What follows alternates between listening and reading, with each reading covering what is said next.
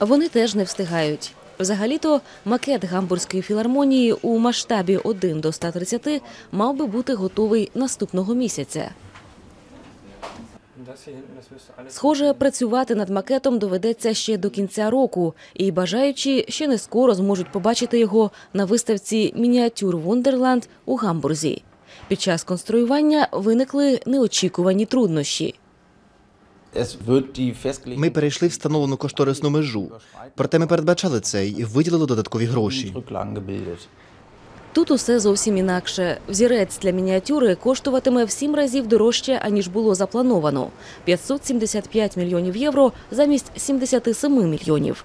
Більша частина видатків лягає на плечі платників податків, а він мусить сповіщати про хід робіт. Бернт Пютер – речник будівельного концерну Хохтів. Його роботодавець останніми роками майже втратив надію закінчити будівництво. Нечітко розподілені обов'язки, зміни в плануванні, похибки, судові процеси, зупинка будівництва. Утім, Бернт Пютер налаштований оптимістично. Und hier ist dann der Verteilbereich. Um. Отже, це хол, куди відвідувачам можна заходити цілодобово. Також звідси можуть люди йти до готелю. А звідси вже розподілення сюди у бік малої зали, а туди великими сходами фоє до великої концертної зали. Bereich des großen Konzertsaals. Ah, hier sieht man gar nichts. Тут іще нічого не видно. І нічого не відбувається. Вже більше року будівництво зупинене. Після бурхливої суперечки між Хохтів і архітекторським бюро Герцог і Демойрон у жовтні 2011 року будівельний концерн зупинив роботи. Головною темою суперечки став дах будівлі. Хохтів має сумніви стосовно статики задуманої конструкції. Суперечності виникли і через технічне оснащення. Незабаром ми почнемо удосконалювати сталеву конструкцію даху, у тому числі даху зали, аби він відповідав усім вимогам. Він буде оснащений усілякою технікою, вагою кілька аеробусів. Весь той простір, що ви бачите, займатиме техніка.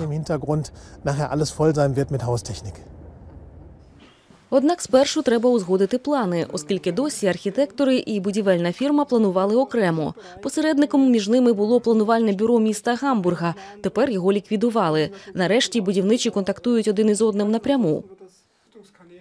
Спершу їм треба синхронізувати свої плани. А тоді слід дійти спільного рішення.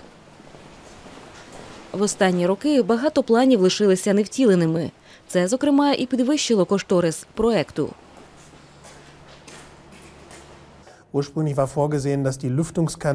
Спершу передбачалося, що кубічний метр вентиляційних каналів важитиме 16 кілограмів.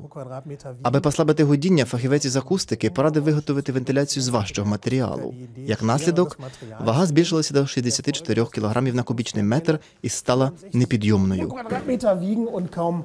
Äh, Із такою масою вкрай складно працювати.